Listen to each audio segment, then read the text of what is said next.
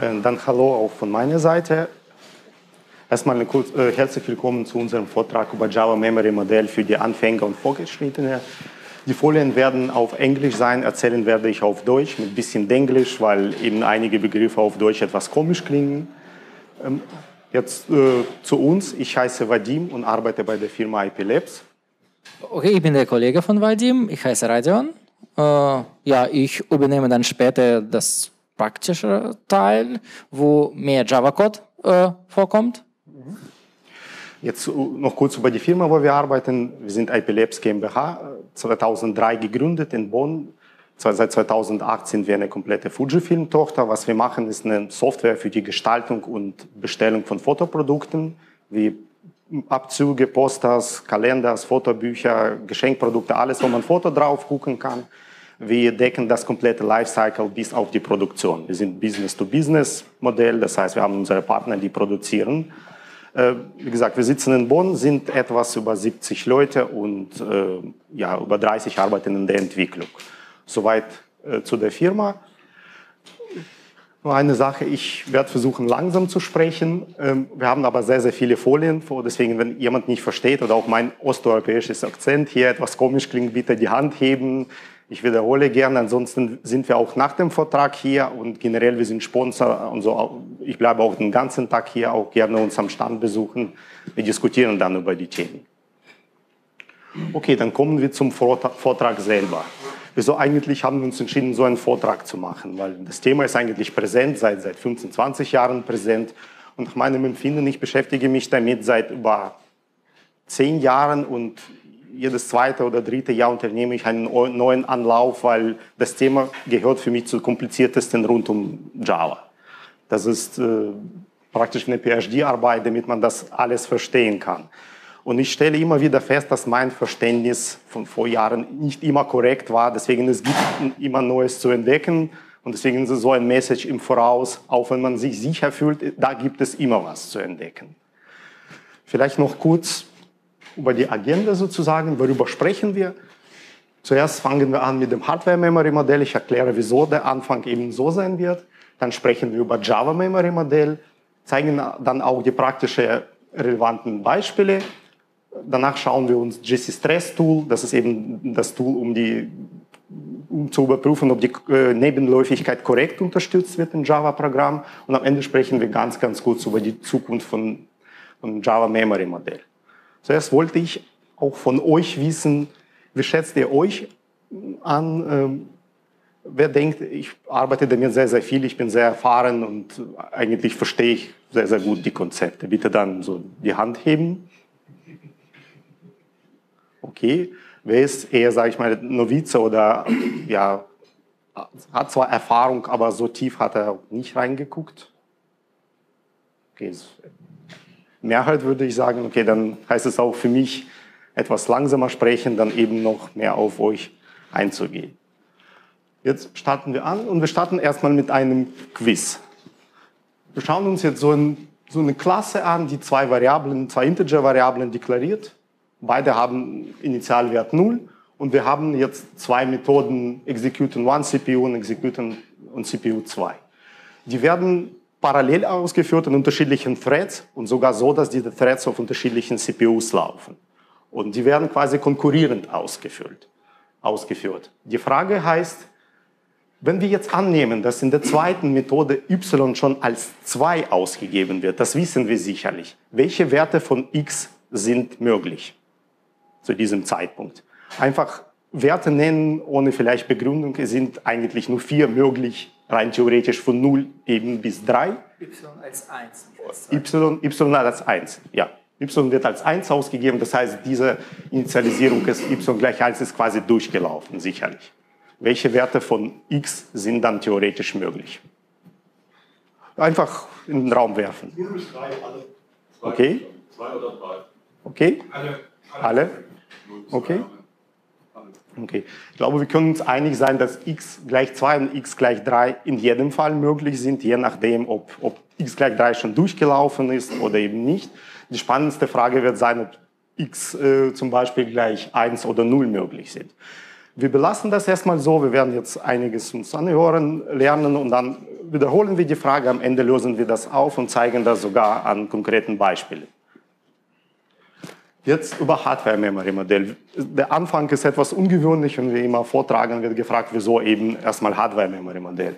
Es ist einfach so, dass oft gesagt wird, Java-Memory-Modell ist zu kompliziert. Aber diese Komplexität kommt halt nicht von ungefähr und dieses Write Once, Run Everywhere hat eben so seine Tücken. Das kriegen wir geschenkt, aber die, die, Java als als Sprache implementieren und die die Compiler implementieren, die müssen sich mit unterschiedlichen Hardware-Memory-Modellen zu tun haben.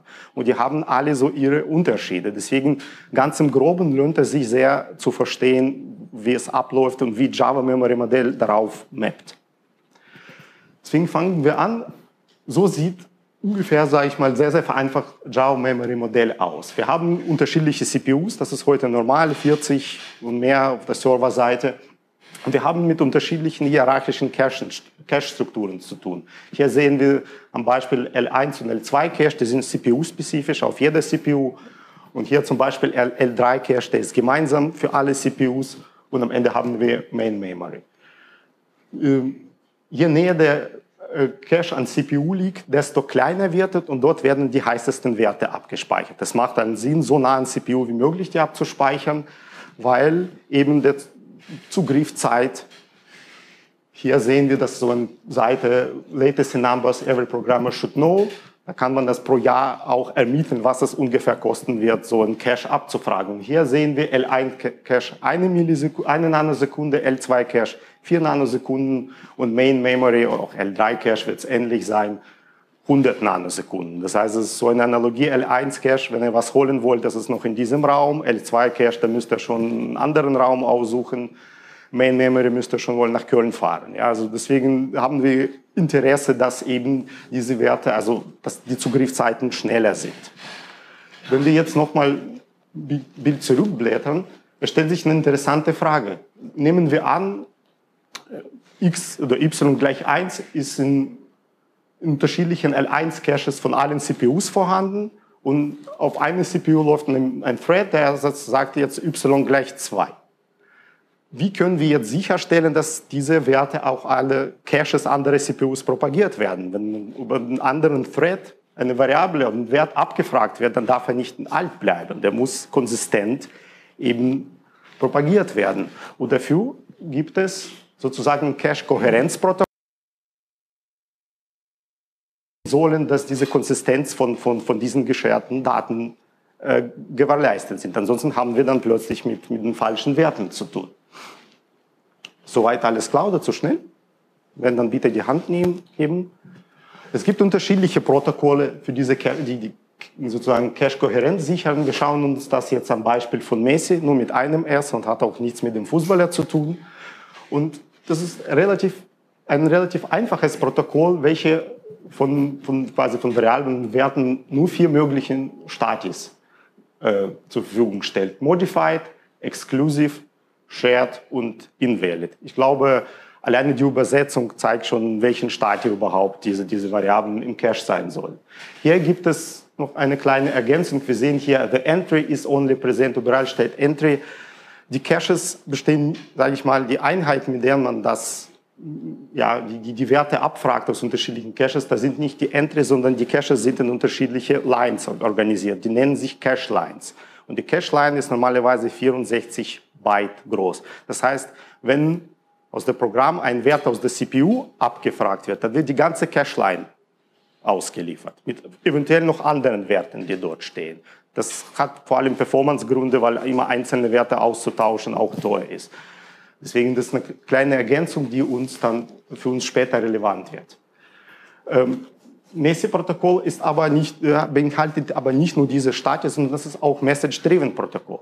Zum Beispiel, wir haben jetzt einen Wert in einem Cache modifiziert und müssen jetzt allen anderen CPUs mit Caches mitteilen, ja, wir haben was geändert.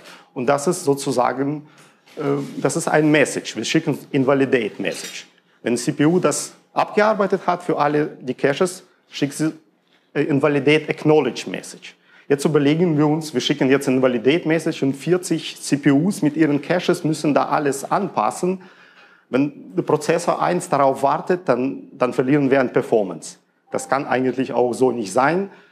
Deswegen dafür ist Store Buffer vorgesehen. Der Store Buffer, der ist quasi um die, ist dafür da, um diese Werte erstmal in Buffer zu schreiben, nicht in L1-Cache. Und der CPU, quasi der Prozessor, der das ändert, sagt, okay, ich habe da reingeschrieben, ich gehe jetzt weiter und warte nicht auf alle Invalidate Acknowledge Message. Ich will einfach schnell sein. Schauen jetzt von einer anderen Seite an, die quasi diese Invalidate Messages erstmal verarbeitet. Äh, die kann auch beschäftigt sein, weil zum Beispiel viele andere Zugriffe auf diese Cache-Line passieren. Das heißt, diese Invalidate-Message kann von einer, Empfang, von einer CPU nicht unbedingt direkt abgearbeitet werden und dafür gibt es quasi Invalidate-Queues. Da wird dieser, dieser Event platziert und CPU garantiert, ja, ich werde das abarbeiten und spätestens dann, wenn von mir der, dieser Wert jetzt benötigt wird, spätestens da muss ich das in L1, L2, L3 Cache committen, wo es halt vorhanden war und das verändern. Das äh, sieht dann so ungefähr aus. Wir haben Caches, in dem Falle L1 oder L2 Cache und wir haben das Store Buffer und ein Validate Queue dazwischen. Ähm, wenn ihr mit Java programmiert, dann habt ihr das Gefühl, wir haben einen Cache und dazwischen gibt es noch Queue und Buffer und das, ist, das sind die Strukturen, die auch Gemeinsamkeiten mit dem Cache haben. Da riecht das schon quasi eine Eventual Consistency, wenn irgendwas Cache für Cache benötigt wird. Und das ist tatsächlich so. Es gibt keine Garantien, in welcher Reihenfolge zum Beispiel die Werte aus Store Buffer in die jeweiligen Caches geschrieben werden. Die werden in bestimmten Reihenfolge da platziert, aber wie sie aus Store Buffer in Cache geflasht werden, ist nicht garantiert. Das Gleiche ist eigentlich für die Invalidate Queue. Das ist die gleiche Problematik. Und hier kommen wir zum ersten Mal zum Thema Reordering. Und das ist so, dass wir haben, sage ich mal, CPUs A, B und C und CPU A wird immer wieder eigene Operationen in der richtigen Reihenfolge sehen. Egal, ob das Store-Buffer drin ist und der Wert aus Store-Buffer und nicht aus dem Cache geliefert wird. CPU, welches ja, Speicheroperationen durchführt, sieht alles in der richtigen Reihenfolge. Problematischer sieht das für die äh, CPUs B und C, die können das in einer anderen Reihenfolge sehen, eben weil Store Buffer die Werte in einer anderen Reihenfolge flashen kann. Und das ist vor allem das, was unter Reordering verstanden wird. Ja, CPUs können auch hart reordern, aber es ist vor allem Visibility-Problem sozusagen. Das ist nicht in dem Sinne, dass es reordert wird, sondern CPUs B und C sehen die Operationen von CPU A in einer anderen Reihenfolge. Das ist soweit klar, grob. Darum geht es, ist quasi wichtig. Auch nicht nur quasi. Nur wir können uns nicht immer damit abfinden, dass plötzlich die Werte in einer anderen Reihenfolge äh, sichtbar sind. Das kann in bestimmten Fällen okay sein, wenn die Werte miteinander nichts zu tun haben, aber sehr oft ist es ganz anders. Und hier führen wir einen Begriff ein, der heißt Memory Barriere. Abgekürzt auch Member oder auch Fences genannt. Memory Barriere sichert, das ist, eine, ja, ist ein Befehl auf der CPU-Seite, der sichert, dass alle Operationen vor der Memory Barriere, die wir platzieren, davor auch komplett ablaufen müssen und die, die danach stehen, danach ablaufen müssen. Das ist so ein Cut. Alles, was davor muss, davor ablaufen, dann kommt Memory-Barriere. Alles, was danach ist, muss danach ablaufen. Welche Memory-Barrieren gibt es? Wenn wir sagen x gleich 1, dann machen wir eine Store. Wir schreiben. Wenn wir, wenn wir sage ich mal, prüfen, ist x gleich 1, es ist Load, wir lesen. Und es gibt quasi zwei Memory-Barrieren, sind immer quasi Store-Memory-Barriere und Load-Memory-Barriere. Und im Sinne von Messi-Protokoll heißt es, wenn ich Store-Memory-Barriere platziere, sage ich, alles, was im Store-Buffer ist, muss weggeschrieben werden in die Cache, in das Cache nebenan. Wenn ich Load-Memory-Barriere will, will ich sagen, alles, was in Validate Q liegt, muss auch jetzt abgearbeitet. Ich will das jetzt jetzt, dass das jetzt geschieht, damit eben dann die Reihenfolge, die Visibility garantiert ist. Jetzt kommt ein Teil, welches den ersten Blick vielleicht etwas unverständlich wird, aber dann sehen wir uns ein Beispiel an, das wird klarer. Ähm, aus Load und Stores ergeben sich vier mögliche Kombinationen. Das sind Load Load, Store Store, Store Load und Load Store. Erstmal nur, was das bedeutet. Zum Beispiel Load Load Memory Barriere heißt, alle Loads von Memory Barriere müssen abgearbeitet werden vor Loads nach Memory Barriere. Store Store heißt, Store, äh, alle Store-Operationen vor Memory-Barriere müssen vorher beendet sein als Stores danach. So ähnlich verhält sich dann auch mit Load Store und Store Load. Zum Beispiel alle Loads bei Load Store, alle Load Operationen vor Memory Barriere müssen vor Store Operationen nach Memory Barriere beendet werden. Das könnte kompliziert erscheinen. Wir schauen uns jetzt ein Beispiel an, was es konkret ausmacht. Ist zwar Java-Programm, aber das ist jetzt nicht interessant. Ein Beispiel, wir haben initialisiere x gleich 0 und dann als false. Da haben wir zwei Funktionen, Methoden, die quasi in unterschiedlichen CPUs und unterschiedlichen Threads parallel ausgeführt werden. In der ersten Methode ist x gleich 1 und dann gleich true und in der zweiten überprüfen wir und äh, checken wir assert. Jetzt überlegt euch, was passiert, wenn in der ersten Methode x gleich 1 und dann gleich true umgetauscht werden. Oder halt von der Visibility her in einer unterschiedlichen Reihenfolge passiert. Dann wird der Assert niemals true sein, weil dann wird zuerst true sein und in der zweiten Methode while nicht dann nicht mehr ausgeführt wird. Das ist zum Beispiel das, was wir eigentlich nicht wollen. Das, das ist ein Quatsch, was dann passiert. Wie, wie wir das verhindern wollen, ganz abstrakt jetzt, nicht mit Java-Mitteln, sondern mit Mitteln von Barrieren. Wir wollen verhindern, dass x gleich 1 und dann gleich true, es sind zwei Stores, umgetauscht werden. Und dafür müssen wir Store-Store-Barriere platzieren, weil Store davor mit Store danach. Wir wollen es verhindern. Wir wollen die Reihenfolge hier unbedingt so haben. In der zweiten Methode ähnlich. Weil nicht dann gleich false, wir, lesen, wir lesen dann und Assertion-Prüfung ist auch eine lesende Operation. Das heißt, wir haben zwei lesende Operationen und wir wollen, dass sie in der richtigen Reihenfolge abgearbeitet werden und deswegen wollen wir eine Load-Load-Membar, Memory-Barriere platzieren. Das ist so auf Hardware-Level, was geschehen soll. Das ist ein einfaches Beispiel. Oft haben wir mit Mischen, Lesenden und Schreibenden Zugriffen zu tun. Aber das ist so, wie Hardware das abarbeiten wird. Da werden Haufen Memory Barriers quasi ähm, platziert, damit diese Visibility oder damit Reordering verhindert wird. Jetzt, als wir diese vier äh, Memory Barriers äh, kennengelernt haben, wollen wir uns die typischen Hardware Memory Modellen anschauen. Im Java-Umfeld interessieren uns vor allem ARM Version 7, x86 und AMD 64. Und links sehen Sie quasi die möglichen Reorderings, die geschehen können, eben diese vier, Load, Load, Load, Store, Store, Store und Store, Load. Und rechts ist quasi Matrix. Wo Y steht, ist so ein Reordering durch Hardware-Memory-Modell per se erlaubt. Das heißt, wo wir jetzt bei ARM Version 7 4 mal Y sehen, das ist das Hardware-Modell, welche alle möglichen Reorderings per se zulässt, im, im Sinne der Optimierung. Das nennt sich auch eine schwache Memory-Modell oder Weak Memory-Modell, weil eben alle Reorderings möglich sind. x86 und AMD64, die sind starke Memory-Modelle oder TSO, Total Store Order Memory-Modell. Die erlauben nur eine einzige Reordering von, von Store und Load. Aber äh, diese, äh, diese Member kommt sehr, sehr selten vor.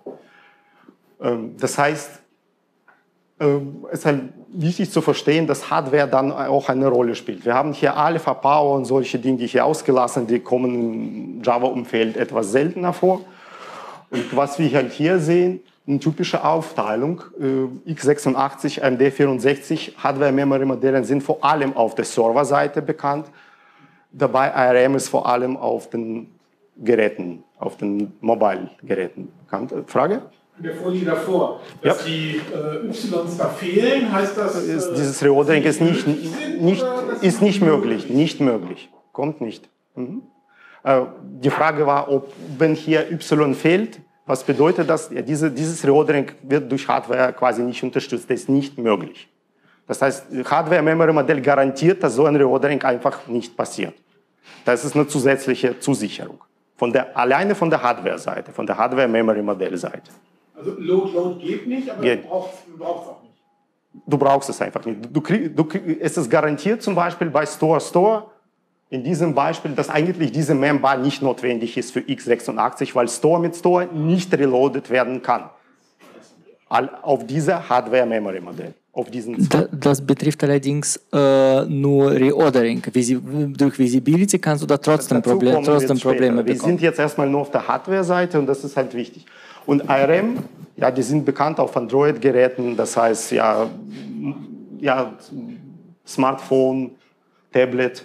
Und das heißt, der typische Java-Entwickler heutzutage hat mit unterschiedlichen Hardware-Memory-Modellen zu tun. Und es kann durchaus passieren, dass der Code, der auf x86 läuft auf einer, oder auf einer starken Hardware-Memory-Modell, plötzlich unter ARM sich anders verhält, weil es eine schwache ist und von sich aus einfach mehr Reorderings im Sinne der Optimierung vornimmt. Das ist praktisch schon alles okay. Äh, wir kommen jetzt zurück zu unserem Quiz. Die Frage ist immer noch die gleiche. Wenn y gleich 1 ist, welche Werte von x möglich sind? Und zwar, meine Kiste ist x86-Kiste. Das heißt, die per se und es gibt keine Reorderings. Ändert sich irgendwas dadurch? Bleibt alles so? Bei denen werden das auch jetzt nicht entschlüsseln. Das ist so ein Zwischenstand.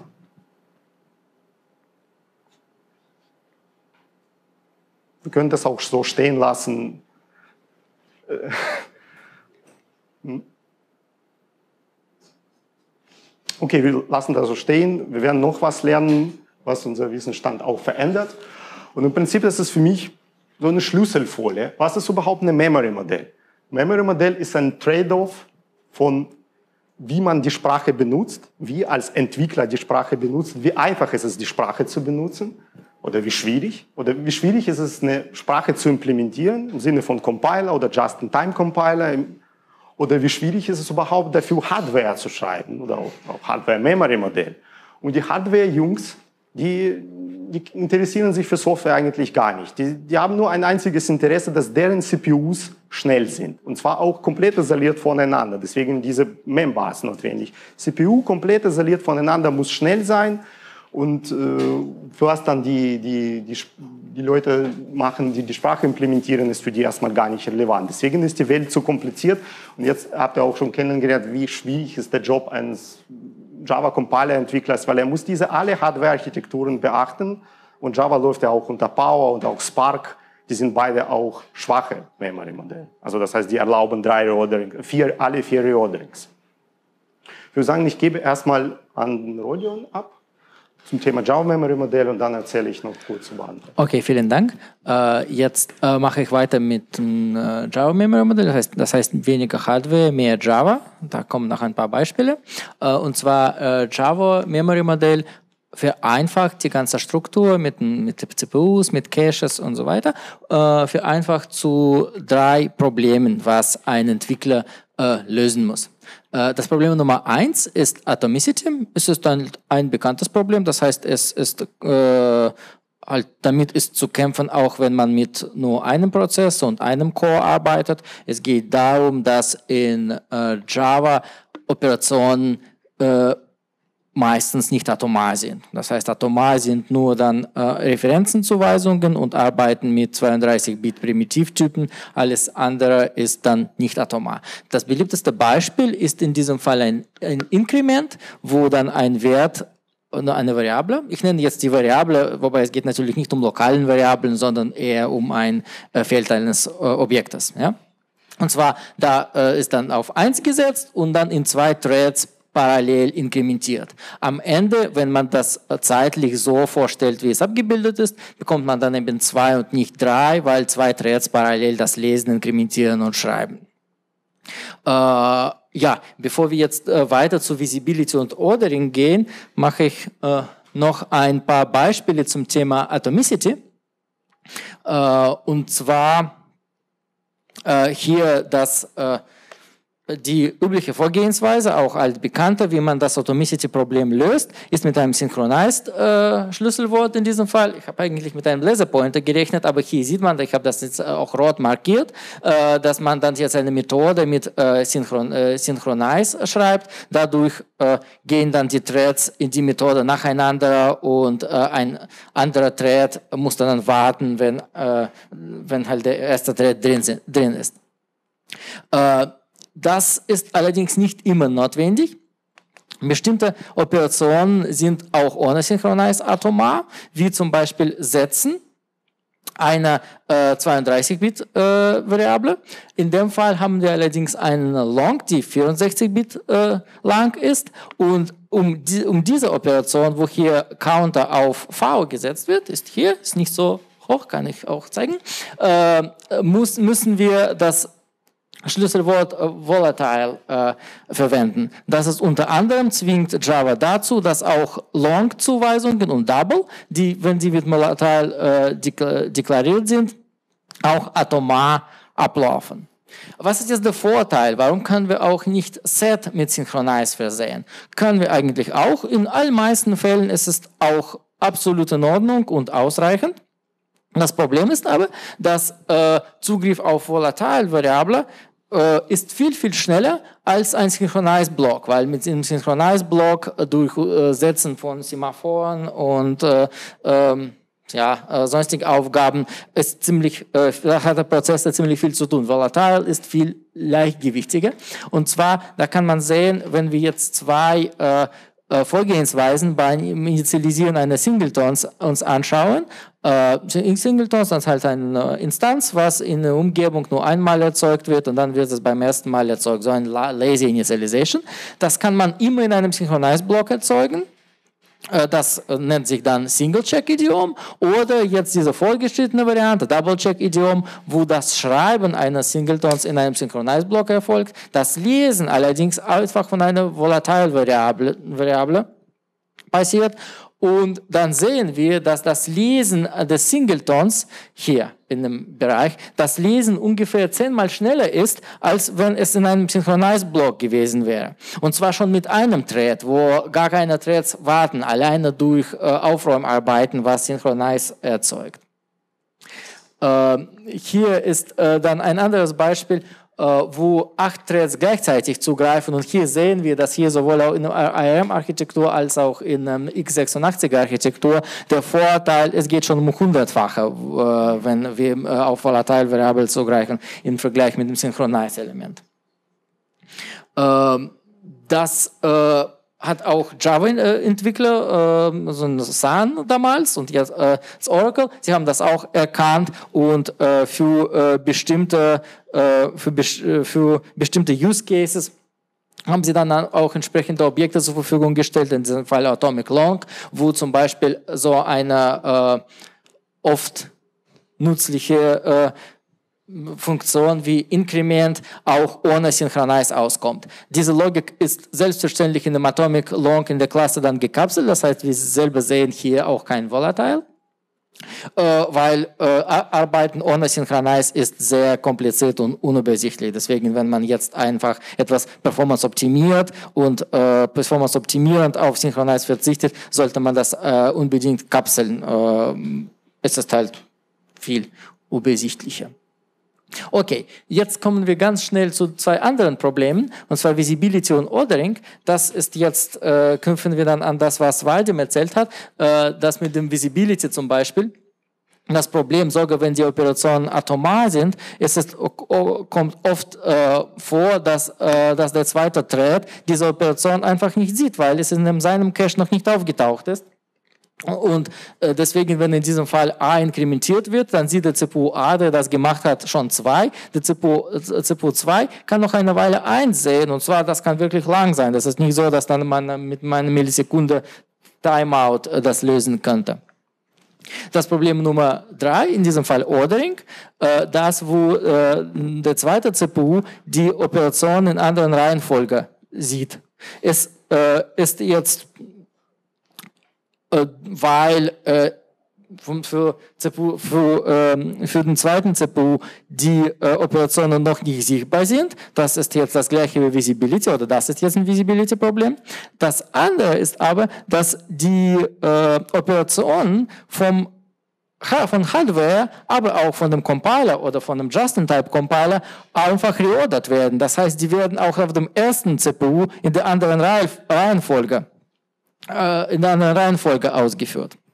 Um das jetzt alles zu spezifizieren und dem Entwickler Werkzeug oder beziehungsweise Regel, einen Regelsatz zu geben, wie man die Probleme äh, löst, äh, definiert Java eine Reihe von Happens Before Rules, wo gesagt wird, in welchen Fällen man äh, davon ausgehen äh, äh, kann, dass die Werte zwischen CPUs synchronisiert sind und die Reihenfolge auch äh, gesetzt ist. Das heißt, wo diese Memory-Barrieren äh, gesetzt werden.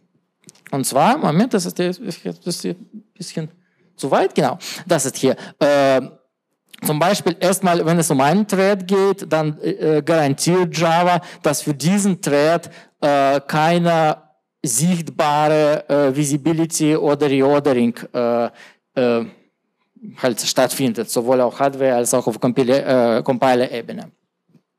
Äh, dann äh, das zweite ist es jetzt das bekannte Synchronized.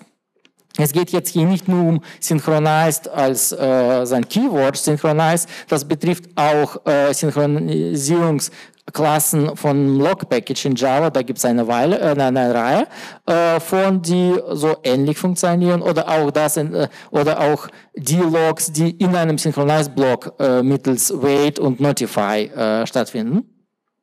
Und zwar in dem Fall garantiert Java, dass die Operationen, in diesem Fall A1, A2 und A3, äh, die in einem synchronisierten äh, Block vor Ende der Synchronisation abliefen, spätestens nachdem, äh, nachdem äh, das Log äh, wieder geholt wird für das gleiche Objekt, in diesem Fall Alpha, für das gleiche Objekt geholt äh, wird, werden dann alle, wird dann alles synchronisiert. Das heißt, dass, äh, der zweite Thread, wenn er dann Synchronized Block öffnet, äh, sieht alles, was in dem ersten Thread geschah. Und gleiche Regel gelten auch für volatile Variablen. Äh, wenn ein Thread äh, eine ähm, volatile Variable setzt, und der zweite liest, dann ist es garantiert, dass alles vor dem Setzen geschah äh, für äh, den zweiten Thread auch sichtbar wird. Und zwar, das betrifft nicht nur volatile Variablen, aber auch alle Variablen. Äh, das ist jetzt nicht eine Regel, worauf man unbedingt setzen muss, wenn man eine Business-Logik entwickelt, aber das ist wichtig zu wissen. Äh, Genau, das ist jetzt noch zwei äh, tückische Beispiele, weil dieses Visibility-Problem äh, äh, ist nicht nur äh, dann, wo man einfach äh, mit den Operationen arbeitet, aber auch wenn man Klassen die, äh, initialisiert oder Objekte initialisiert. Wenn wir hier äh, blau umrandet das als ein Konstruktor äh, vorstellen, wo A erstellt wird, dann, wird dann die, werden die äh, Felder dann default initialisiert mit 0 äh, in dem Fall von primitiven Typen und dann in dem gleichen Konstruktor auf irgendeinen Wert gesetzt werden, in diesem Fall x, kann es äh, dazu kommen, dass der zweite Thread zwar schon die Instanz sieht, das heißt, das Objekt A, Objekt A ist schon äh, zu sehen in dem zweiten Thread, der Wert x ist aber nicht. Das heißt, in äh, der zweite Thread in dem Fall sieht ein halb, initialisiert, äh, halb initialisiertes Objekt. Das ist etwas, womit man in der Regel nicht rechnet, äh, weil es ist diese Null kommt eigentlich in der Logik nicht vor, das ist nur Default-Wert, was äh, nirgend, nirgendwo im Code steht. Und nur nach einer Weile, wenn dann die irgendeine andere Memory-Barriere greift oder einfach durch Timeout, äh, sieht man sieht in dem Fall der zweite Thread äh, das x in dem A. Ähm, das äh, kann man äh, umgehen, dadurch, dass man a klein, dieses das Feld a, als Final deklariert. Wenn man das als Final deklariert, passiert es nicht. Wenn man als Final deklariert, sichert das Java zu, dass äh, der zweite Thread, wenn er die Instanz, wenn er äh, die Instanz A schon sieht, sieht er schon richtig initialisierte Werte. Das ist auch wichtig äh, für äh, immutable Objekte, wie zum Beispiel so ein String oder Date. Die immutable Objekte, die in allermeisten Fällen alle eigenen Felder als Final deklarieren, haben, sind dann von diesem Problem befreit. Äh, Happens before äh, hat auch andere Regeln, äh, die sind auch in den, sie sind aber nach den meisten, in den meisten äh, anderen Fällen sind halt nach dem menschlichen, äh, halt, äh, ja, nach dem menschlichen Verstand äh, nachvollziehbar und äh, keine Überraschungen äh, halt erzeugen beim Programmieren. Okay, jetzt noch ein paar Beispiele, noch ein Beispiel mit Visibility. In dem Fall haben wir äh, das die gleiche Counter-Klasse äh, wie gerade noch, aber mit dem Integer statt Long. Hier könnte man denken, dass man beim äh, beim Setzen hier in der Methode set äh, auch ohne Synchronized vorgehen kann, äh, also ohne Synchronized gehen kann, weil int automatisch atomar ist, das Setzen von einem int-Feld automatisch atomar ist und dass man Atomicity-Problem jetzt hier nicht bekommt. Allerdings braucht man trotzdem ein Volatile äh, da ganz oben, weil obwohl man jetzt mit Atomicity nicht zu kämpfen hat, hat man aber die Visibility-Problem, also das Visibility-Problem immer noch, dass man das Setzen äh, jetzt aus dem anderen Thread nicht sieht. Um das zu vermeiden, muss man äh, Counter, obwohl es kein Long ist, all, all, auch als volatil äh, deklarieren. Und das ist jetzt die zweite Bedeutung von äh, volat also volatil. Das ist jetzt eigentlich beides. Einmal, einmal sichert es zu, dass die 64-Bit äh, Variablen äh, dann atomar sind und zweite Bedeutung ist dann jetzt die äh, Visibility erzwingt zwischen Threads. Genau, jetzt ist es das Beispiel, äh, das äh, gleiche äh, Beispiel jetzt mit dem, nee, das ist jetzt, ja genau, das ist jetzt diese äh, Safe Publication, wo wir jetzt eine Klasse Interval haben mit zwei Werten, die dann nochmal in P verpackt sind, so Lower, lower und Upper, wo wir dann durch äh, Setz, beim Setzen schon gleich prüfen, dass es jetzt, dass es jetzt stimmt und dann P setzen. Wenn wir, wenn wir allerdings aus dem anderen Thread P lesen, müssen wir sicherstellen, dass das Initialisieren von Pair erfolgt ist, dass wir da wirklich die Werte Lower und Upper, die hier begeben werden, äh, sehen und nicht die Nullen, die dann default initialisiert äh, wären. Und für das da brauchen wir da Final. Und um dann noch zusätzlich, äh, zusätzlich nicht nur das Objekt richtig initialisiert in dem anderen Thread bekommen, aber auch die aktuelle Version von diesem Objekt und nicht vorherige, brauchen wir immer noch volatil äh, da oben.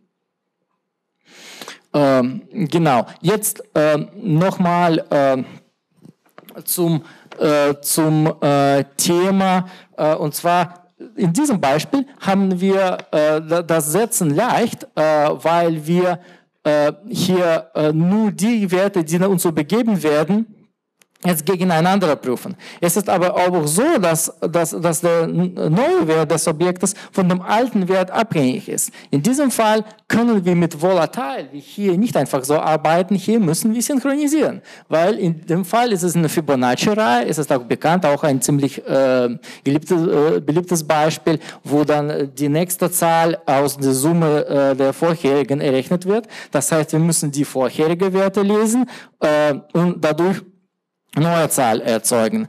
Äh, um das äh, jetzt Thread Safe zu, äh, zu äh, ja, Thread Safe zu machen, äh, müssen wir in dem Fall synchronisieren, weil dann bekommen wir sonst Atomicity-Problem. Das ähnlich, das, äh, das gleiche hätten wir auch in dem, hatten wir auch in einem Inkrement, wo wir so ein Inkrementfall. Wie löst man äh, das in einem, zum Beispiel in der Klasse Atomic Long? Wie löst man, wie lösen das Java Engineer, dass man das auch ohne Synchronisierung macht?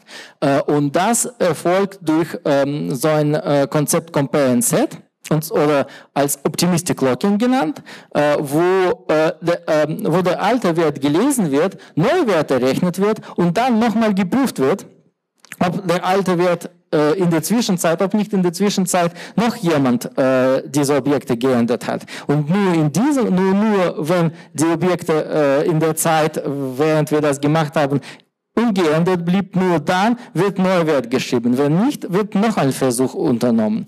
Äh, dieses Compare und, äh, Compare und Set wird von äh, Hardware äh, unterstützt und äh, deswegen erfolgt das auch atomar. Das heißt, von allen Hardware, äh, von allen äh, Prozessoren ist es äh, gewährleistet, dass Compare und Set atomar abläuft und das erlaubt uns synchronisierungslose Vorgehensweise bei ja, so einem Optimierung. Hm?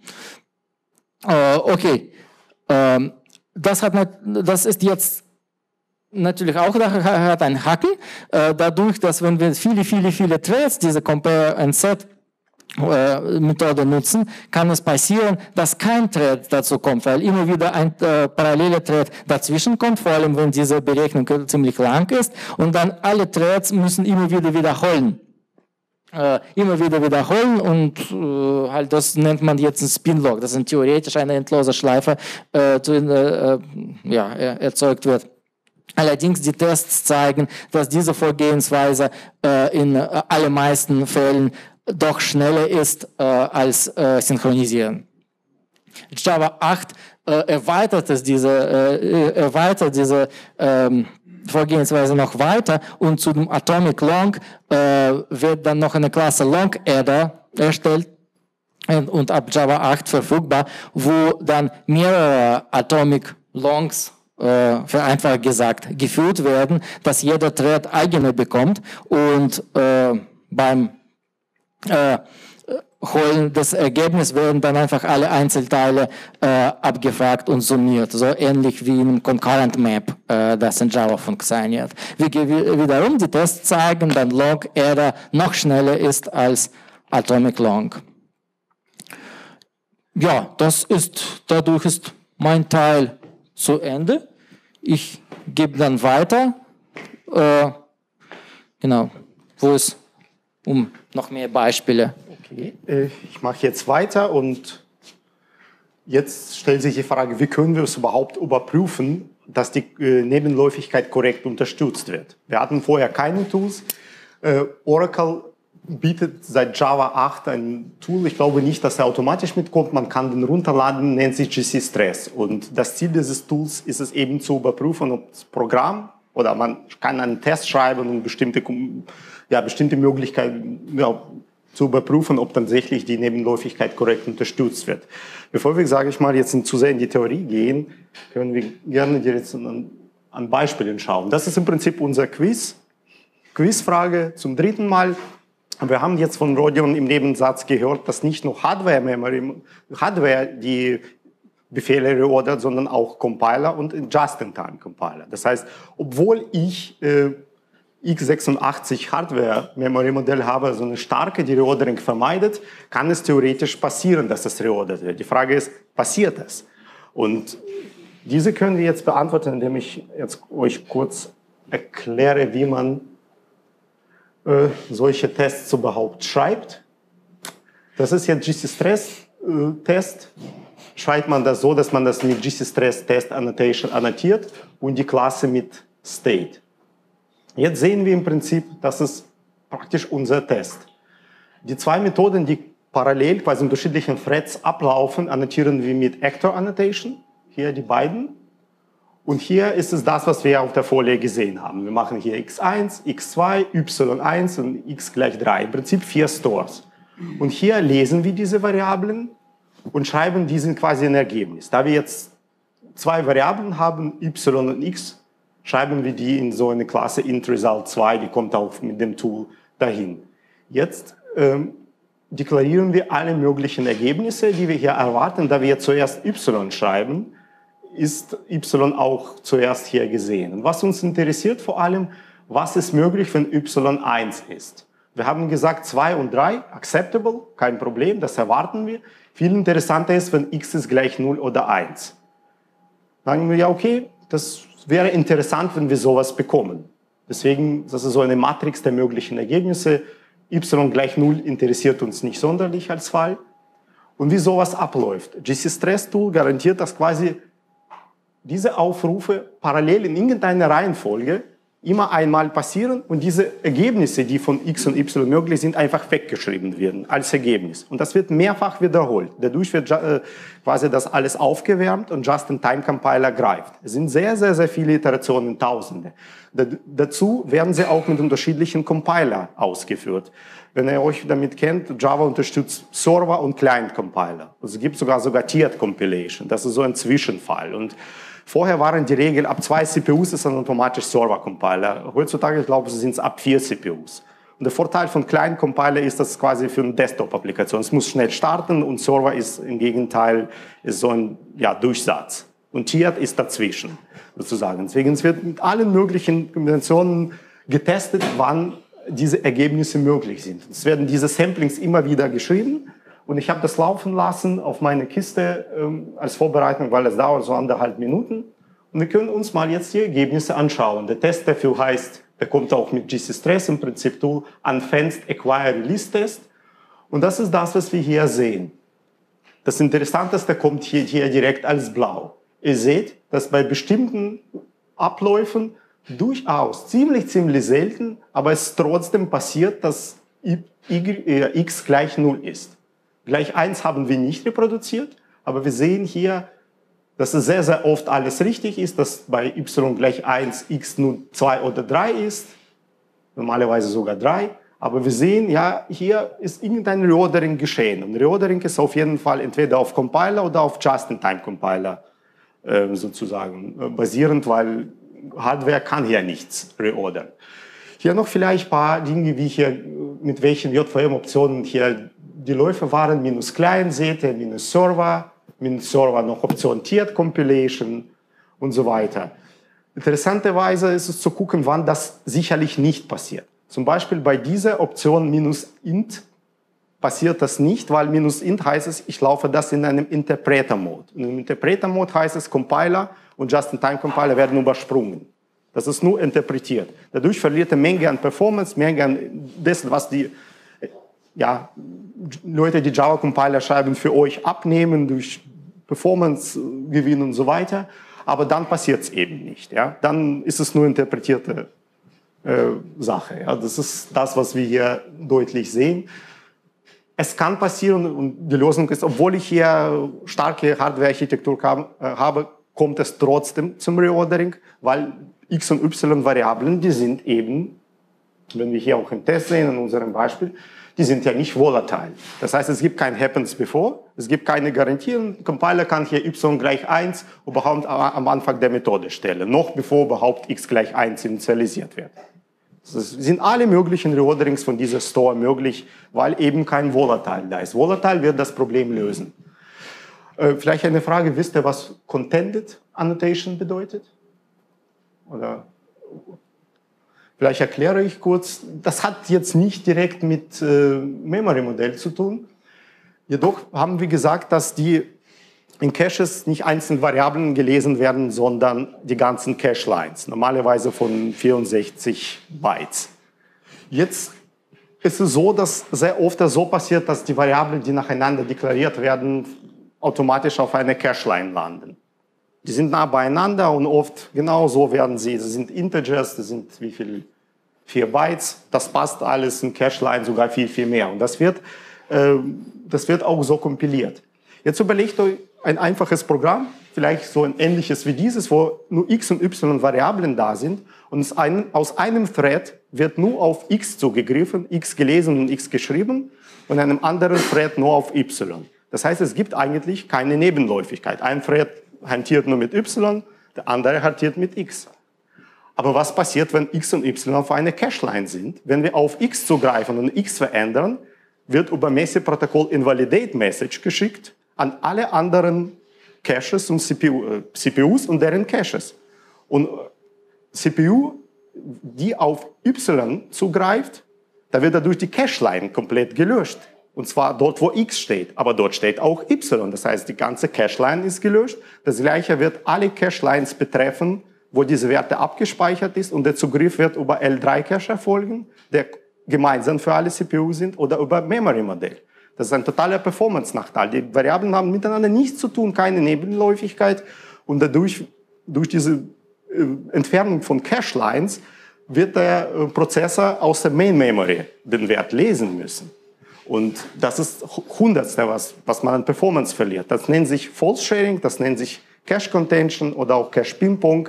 Es sind die gleichen Begriffe für das Gleiche. Das heißt, was Contented hier garantiert, und diese Contented kommt seit Java 8 mit ähm, wenn wir hier sehen, das ist eine, die kommt aus San also das ist die, die mitgeliefert wird und die äh, führt dazu, dass im Prinzip diese Variable nicht in der gleichen Cache-Line landet wie x. Das wird quasi verzerrt. Die Entwickler von, von Java, die wissen über Speicherlayout zu unterschiedlichen Plattformen, die wissen, wie groß die Cache-Lines sind und können das quasi so anrichten. Wenn das performancekritisches kritische Applikation ist, wie irgendwas hantieren auf der Börse oder so, wo es um Millisekunden geht, dann ist es durchaus ein Performance-Gewinn. Ich würde das aber nicht pauschal an jeder Stelle hier platzieren. Das ist einfach nur zur Information. Äh, vielleicht noch eine Sache, man konnte das vorher lösen. Äh, beziehungsweise es gab genug schlaue Entwickler, die gesagt haben, ich kann hier padden. Und das ist jetzt so ein Beispiel aus dem Internet. Hier, ich weiß, äh, Cache-Line ist 64 Byte, Long-Variable ist 8 Byte. Mhm. Was ich hier tun kann, ich schmeiße hier sieben, ich, ich interessiere mich nur für x und v1 am Ende und ich schmeiße jetzt acht Stück von Log-Variablen, die nichts tun, nur dafür sorgen, dass es so gepadet wird. Ja? Super lesbares und super nutzbar sowas. Und das hat bei Java 7, bis Java 7 tatsächlich funktioniert. Nur dann, äh, und ich, ich kenne einige Leute, die bei Oracle arbeiten in Performance-Abteilung, sie haben das gesehen und gesagt, nee, jetzt nicht mehr. Und sie haben Just-in-Time-Compiler erweitert, dass das rausgeschmissen wird. Das heißt, dieses, diese Mühe war quasi umsonst und das ist auch ein Lessons learned. Man muss immer gegen die Spezifikation kodieren und nicht gegen die Implementierung. Wenn die Leute da schauen, wie das die Java Compiler-Entwickler machen, dann können sie nächstes Mal das anders machen. Das ist nicht spezifiziert. Das ist deren Lösung. Und sie haben dann sowas rausgeschmissen, wegoptimiert und das war umsonst und der Code sieht natürlich fantastisch aus. Wegen zwei Variablen noch acht Stück deklarieren ist äh, nicht besonders sinnvoll. Okay, das haben wir jetzt so ein bisschen, das sind eben die Ergebnisse. Ja, Reordering ist auch möglich, und die Lösung wäre x und y als volatil zu deklarieren. Da gibt es kein Happens Before und da wird gar nichts mehr reordert, weil dann bleibt alles so, wie es ist und dann... Das zweite Beispiel, was auch aus diesem Talk ist, will ich euch kurz zeigen. Ähm, wer von euch schreibt tatsächlich bei Instanzvariablen Final? Und denkt, das ist tatsächlich wichtig, das weiß ich und ich schreibe das ja auch. Mhm. Das ist zwar ein bisschen Tipparbeit, aber ich sichere mich ab. Ich habe oft gehört, ja, ist noch nie passiert. Ja, nie gesehen, dass da irgendwas passiert ist und dieses Final, das nervt mich und Final hat in Java viele Bedeutungen, ich kann dann nicht mehr setzen. Mhm. Genau das, man vermeidet Nullpointers damit einfach, mhm. weil man eben garantieren muss, dass du ist. Mhm. So. Ja. Dafür benutze ich das Final ganz gerne, wenn ich sicherstellen will, dass mhm. kein Null hat was uns interessiert, kann jetzt irgendwas passieren, wenn ich jetzt Final auslasse. Und das kann man auch mit GC-Stress-Test testen. Ähnlicher Test, wir haben hier zwei Methoden, die wir mit Actor annotieren, die parallel ausgeführt werden. Eine, eine Methode initialisiert eine Klasse und übergibt an Konstruktor 1. Diese Klasse hat jetzt vier Felder. Alle sind nicht final und alle werden zu 1 gesetzt. Oder eben nicht. Dann bleibt es halt 0, weil es Default wird. Wie können wir es überprüfen?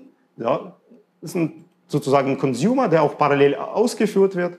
Ja, wenn die Referenz nicht da ist, das heißt, wenn Consume früher gelaufen ist als Publish beim Test, die laufen parallel, dann ist die Instanz nicht sichtbar und ich schreibe hier minus eins. Ansonsten, wenn, wenn Instanz sichtbar ist, zähle ich quasi eins. Wenn ich jetzt vier Stück habe, habe ich jetzt vier Felder wurden, alle vier Felder wurden korrekt auf eins initialisiert. Das ist eigentlich das, was ich erwarten würde, wenn es weniger sind, ah, es gibt ein Problem. Das ist, irgendein Feld ist nicht auf eins gegangen oder auch mehrere. Und äh, genau so deklariere ich hier, speichern wir nur eine Variable, deswegen ist die Klasse int-result 1, weil wir nur ein Ergebnis. Und hier, ja, es sind nur diese Möglichkeiten und klar, wir deklarieren das als acceptable, weil Final-Regeln sind Final-Regeln. Ja. Man kann das hier als einfach als verbieten deklarieren, damit das dann blau oder in Farbe dargestellt wird. Schauen wir mal an, was passiert, wenn wir das jetzt laufen lassen. Nee, das ist nicht das, was ich wollte.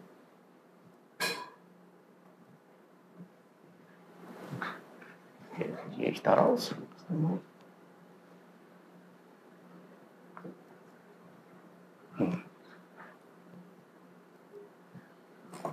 Was ist es jetzt? Ich glaube, das hängt gerade. Nein. Oh, okay. Das kann ich jetzt auch so zeigen, nicht unbedingt ein Tool. Ich, kann, ich habe Screenshot. Ja, ihr seht, das passiert. Bei Minus-Server-Option seht ihr alle möglichen Kombinationen. Die häufigsten sind, Referenz war nicht da, weil Consume-Methode vorher gelaufen ist oder alle vier sind da. Würden wir erwarten, aber es kann durchaus passieren, dass dann beliebige Kombinationen von Werten doch auf Null auf Default geblieben sind. Das heißt, Final ist durchaus wichtig und setzen, das ist nicht nur theoretische Sache, sondern praktisch sieht man in vielen Kombinationen, ja, das passiert. Aber es passiert so selten, selten. dass es bei einem kleinen, einfachen Test durchrutscht. Natürlich, bei einem JUnit-Test, auch mit einem CPU oder sonst was, werdet ihr das nicht sehen. Ja, das ist halt das, was dieser Tool, Tool uns abnimmt. Das ist Just-in-Time-Compiler, das wird aufgewärmt, da werden die Dinge erzwungen, die in der Praxis Just-in-Time-Compiler optimiert noch im laufenden Betrieb, das wird schneller hier passieren. Aber es sind die Dinge, die im laufenden Betrieb letztendlich passieren. Deswegen, man wird das ab und zu sehen und plötzlich kann man die Exceptions nicht erklären. Wie kann es denn sein? Aber es kann sein. Es lässt sich ja teilweise auch nicht reproduzieren. Mhm. Mhm. Okay, ich habe noch ein paar Minuten. Okay, die Lösung ist ganz einfach. Final nicht vergessen, macht durchaus Sinn. Hier noch Wrap-up ich will jetzt ein Thema, es, es gibt nicht nur Happens Before, sondern auch Synchronize With. Das ist ein kompliziertes Thema, Acquire, Release Semantik, das können wir auslassen, dazu, dafür reicht die Zeit nicht aus. Jedoch eins ist wichtig.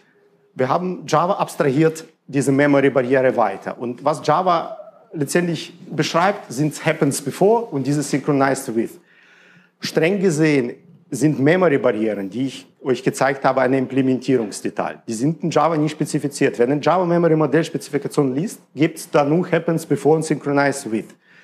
Deswegen Memory Modellen sind sozusagen Leaky Abstraction. Die sind durchgerutscht. Das ist die einzige Implementierung, für das Hardware äh, sichert, aber in Java abstrahiert das weiter. Und noch ein Grund, wieso Memory Modell sozusagen Implementierungsdetail ist, hier ein Beispiel ganz unten, Synchronized auf New Object macht keinen Sinn, weil dieses New Object nicht wieder verwendbar ist. Das wird weggeschmissen. Und Just-in-Time-Compiler oder Compiler werden so einen Synchronized-Blocke wegschmeißen. Obwohl man sagt, ich will eigentlich Memory-Barriere, sagt Just-in-Time-Compiler happens before an einem Objekt, was nicht wieder verwendet wird, macht keinen Sinn. Das Monitor an einem Objekt, der in, einfach in der Luft ist, macht keinen Sinn. Deswegen ist einfach nur ähm, wichtig. Okay, das ist jetzt praktisch die letzte Folie. Wir reden jetzt noch kurz über die Ist-Zustand und Zukunft von Java Memory Modell. Ich glaube, in drei, vier Minuten bin ich durch. Die aktuelle Spezifikation, die nennt sich JSA 133, ist seit Java 5 da. Und das ist mittlerweile elf Jahre alt. Und in der Zeit passiert einig, ein, einiges und die ist quasi jetzt schon outdated. Es gibt sehr, sehr fundierte Arbeiten von Professoren von Informatik wie David Espinel, die mathematisch beschreiben, dass sie sogar zum Teil falsch ist. Und tatsächlich sind seit Java 5 neue Abstraktionen oder neue Methoden eingeführt worden an diesen Atomic Integer und so weiter. Die heißen Lazy Set, Weak Compare and Set. Fragt mich nicht, was die machen. Wenn ihr einen Bewerber ablehnen wollt, dann könnt ihr sowas bei ihm fragen. Er wird er direkt selber rauslaufen. Ich habe es nie benutzt. Aber Sinn der Sache ist, wenn, wenn, wenn ihr die Dokumentation dieser Methoden liest, dann, dann steht es, es kann sporadisch false ausgeliefert werden bei Weak Compare and Set, obwohl es geklappt hat. Der Rodion hat ein Beispiel von Spinlock gezeigt mit Compare and Set. Das ist Weak Compare and Set. Obwohl es geklappt hat, kann die Methode false zurückliefern und ihr habt so eine endlose Schleife dann in Weil. Ja? Und dort steht, weil sie nicht spezifiziert ist im Sinne des Reorderings. Weil diese Abstraktion nach Java 5 kam und die wissen nicht, ja, wie passt das denn. Ja? Deswegen use with caution. Okay, jetzt zu neuen Sachen. Es gibt neues, es nennt sich Java Extension Proposal jetzt, es gibt keine JSAs mehr, das gleiche umbenannt, 188, seit drei Jahren eigentlich im Informational Status. Das heißt, es wird lange diskutiert von Doug Lee, eigentlich angelegt, das ist der Concurrency-Experte schlechthin. Äh, der hat diese Klassen, die jetzt in Java Util Concurrency drin sind, früher als Open Source Projekt äh, implementiert und dann wurde das später eingeführt. Der äh, führt das weiter und es sind eben diese Ziele, die, die diese Spezifikation ver, äh, verfolgt. Zuerst äh, C, C++ Compatibility. Wenn ihr euch ein bisschen mit C++ und C beschäftigt, die haben 2012 auch Memory Modell endlich veröffentlicht. Und das ist sehr, sehr komplizierter Memory Modell, aber sehr, sehr an Java angelehnt. Plus sie haben ja sieben Jahre lang gelernt daraus und sie haben das auch weiterentwickelt. Und da Java durchaus JNI-Aufrufe, also Native-Aufrufe macht bei System Out Println, äh, dann muss es damit auch konform sein. Es ist nicht und deswegen sind JNI-Aufrufe auch so langsam, weil da überall Full-Memory-Barriers stehen, um Gottes Willen irgendwas reordert wird, weil wir gar nicht wissen, was ZEP-Compiler macht in der Version. Deswegen das Ziel ist, das Ganze zu vereinheitlichen. Volatile. Wie der Rodion gesagt hat, hat Volatile mehrere Bedeutungen. Das kann Atomacy bedeuten für Long und Double. Es kann aber auch tatsächlich Visibility bedeuten. Als das eingeführt wurde, es gab 32-Bit-Architekturen und das war für Long und Double noch relevant. Heutzutage haben wir mit 64-Bit-Architekturen zu tun und dadurch werden die Barriere erstellt, obwohl Hardware eigentlich Atomacy garantiert. Das heißt, die, die aktuellen Architekturen werden bestraft durch unnötige Members, die von Java-Compiler gestellt werden. Und es laufen jetzt die Tests, wie kann man Volatile sozusagen von Atomacy befreien und wie kann man 32-Bit-Architekturen dadurch vielleicht nicht benachteiligen, weil die müssen irgendwie weiterlaufen. Das, Thema ist gar nicht geklärt, das ist auch recht kompliziert, welche Variante man sich entscheidet oder man lässt alle so stehen. Final. Die gleiche Problematik. Final hat viele Bedeutungen. Ja. Konstante, äh, ja, Klasse darf nicht erweitert werden, Methode darf nicht erweitert werden, das darf nur im Konstruktor gesetzt werden und das noch jetzt äh, final für die Visibility. Das ist total überladen, lässt sich nicht ändern. Jedoch stellt sich eine Frage, wieso braucht Final diese Happens Before oder diese, diese, diese Garantien? Wieso kann man die zum Beispiel auf Volatile nicht übertragen? Weil es ist Leuten bekannt, Volatile und Synchronized in diesem Umfeld zu benutzen und Final und Volatile gehen zusammen nicht in Java. Oder man geht noch weiter und sagt, vielleicht können wir automatisch alle Instanzvariablen Final-Garantien geben, aber man deklariert die nicht mehr Final. Wir werden davon befreit, dieses Final zu schreiben. Wir können dann auch resetten, die Variable. Es ist auch nicht immer notwendig, Final zu schreiben. Es gibt Objekte, die nur in einem Thread verwendet werden und instanziert werden. Ja, da kann nichts schief gehen, da brauchen wir auch kein Final. Ja, die werden dadurch bestraft. Ich habe die Tests gesehen, die, die jetzt laufen an starken Hardware-Memory-Modellen geht es um 2-3% Performance-Verlust. Auf den schwachen 5 bis 10. Trotzdem wird das jetzt als okay angesehen, so dass eventuell Final diese, diese Visibility-Problematik davon einfach befreit wird. Das heißt, wir werden nicht Final deklarieren müssen, kriegen aber Final-Garantien. Und zwar bei allen Instanzobjekten. Durch bisschen Performance-Verlust. Das könnte durchaus kommen. Ähm, Testing und Tool Support. GC Stress Tool ist in einem Experimental-Stadium. Das heißt, es können dort auch Fehler auftauchen. Die testen das und das soll auch Entwickler zugänglich gemacht werden. Ähm, Out Ich kann es gerne überspringen. Wenn wir zwei Minuten haben und ihr Interesse habt, kann ich euch ein interessantes Phänomen haben. Ja? Das wird dann praktisch bis auf Thank you das letzte.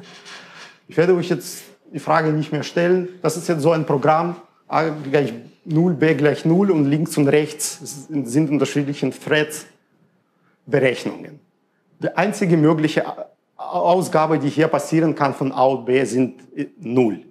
Und zwar egal in welchem Stadium des Laufs ist A und B gleich 0, weil es gibt eigentlich nichts, was dieser verändert. Nichts, egal.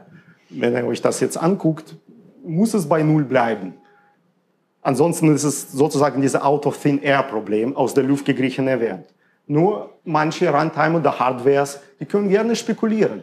Die sehen am unten B gleich 42, vielleicht will der Entwickler doch 42 am Ende haben. Wieso hat er das reingeschrieben?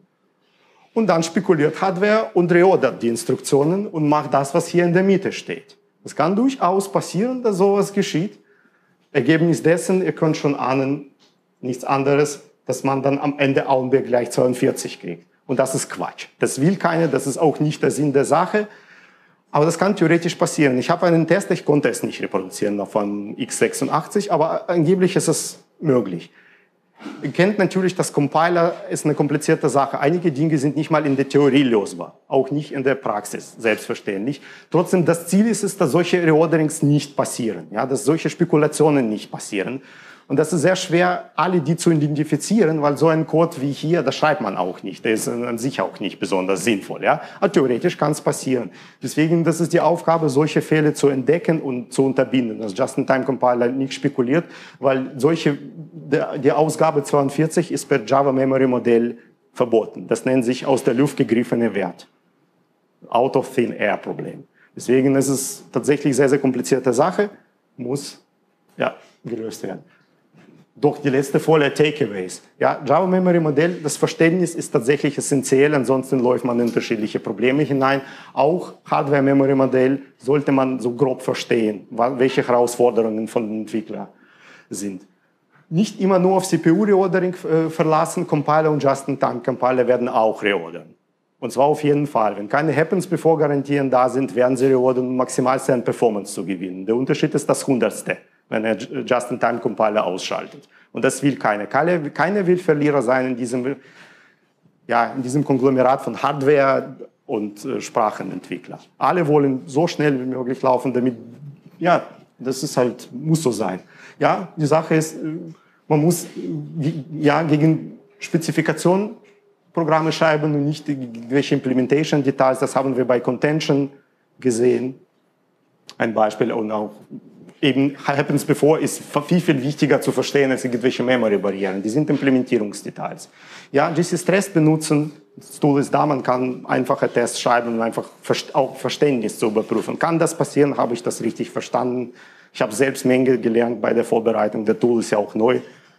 Deswegen, ja, von, von, mein, von meiner Seite äh, nur ein einziger Punkt. Ich habe in meinem Teil auch sehr viel Schlechtes über Synchronized-Blöcke geredet, dass sie nicht optimal sind und langsam und so weiter. Aber ich muss sagen, vor allem für Java-Entwickler, wo jetzt keine Hardware-Treiber geschrieben werden, ist, ist in allermeisten Fällen zu, ähm, Fällen zu vernachlässigen.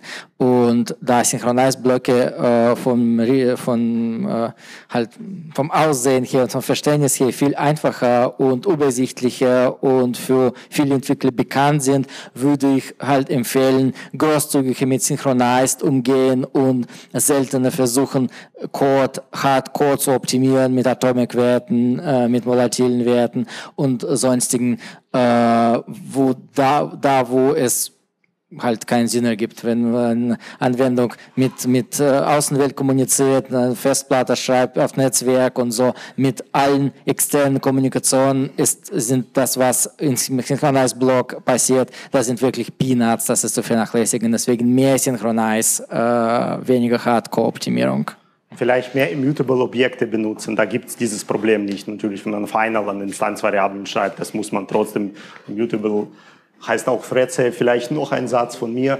Es gibt äh, mehrere Dinge, wie man überhaupt, ja, das happens before verstehe ich nicht, ich will das umgehen. Es gibt Functional Reactive Programming, da gibt es ja, bei Functional hat man damit weniger zu tun. Und es gibt Software Transactional Memory, wenn ihr das mal gehört habt. Normalerweise kommt man nicht weit weg. Man muss das verstehen, weil alle anderen Paradigmen, die lösen ein Problem und, und äh, stellen dann zwei, drei weitere vor. Deswegen, das sind sozusagen Core-Themen, ja, da kommt man nicht rumherum, dann doch noch zu verstehen. Ich beschäftige mich mit dem, wie gesagt, sehr lange und werde noch weiterhin dies tun. Ansonsten, jetzt sind wir nur wirklich fertig. Entschuldigung, wir haben acht Minuten überzogen. Er wollte auch essen gehen.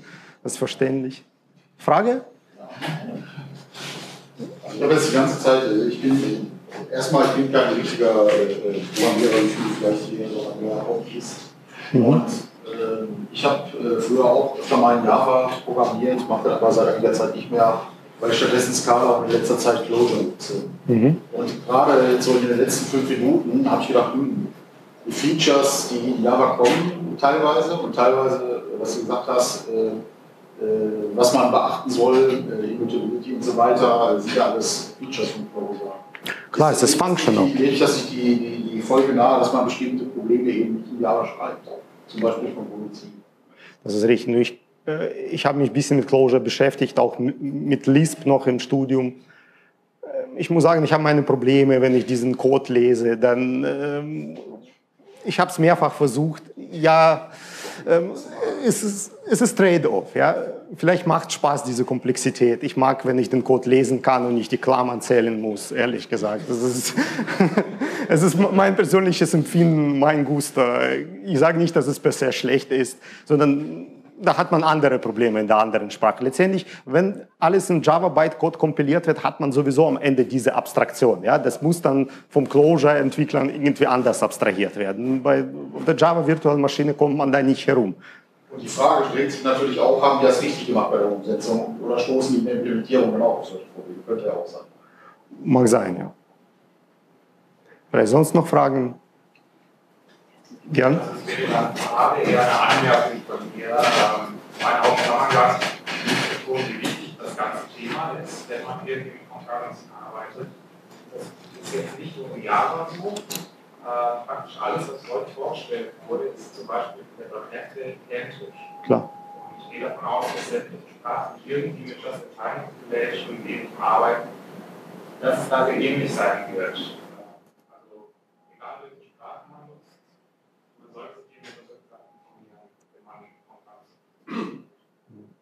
Danke. Ansonsten entschuldigen, wenn es kompliziert war. Man kann sehr, sehr kompliziertes Thema nicht unbedingt sehr einfach vortragen, vor allem für nicht-Native Speaker. Und so, wir haben so versucht. Äh, ansonsten sind wir für Verbesserungsvorschläge immer offen. Für Kritik selbstverständlich. Und wir sind auch eine Weile da, wo IP ja, Labs steht. Äh, gerne äh, diskutieren. Ne?